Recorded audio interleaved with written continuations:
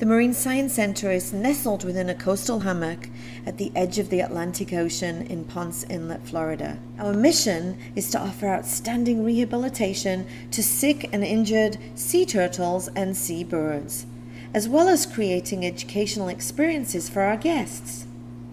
Since we opened in 2002, the Marine Science Center has welcomed over a million visitors our guests can enjoy learning about Florida's amazing ecosystems and the animals that live in them in our gallery. We have many interactive experiences, including our Stingray Touch Pool. Our hospitals have treated over 25,000 reptiles and 19,000 birds. You can view our rehabilitation efforts from the Sea Turtle Terrace. And you can also take a stroll along the bird boardwalk to visit our resident birds.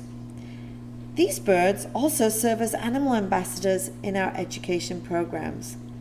We are looking forward to you coming to visit the Marine Science Center when we reopen, and until then, take care.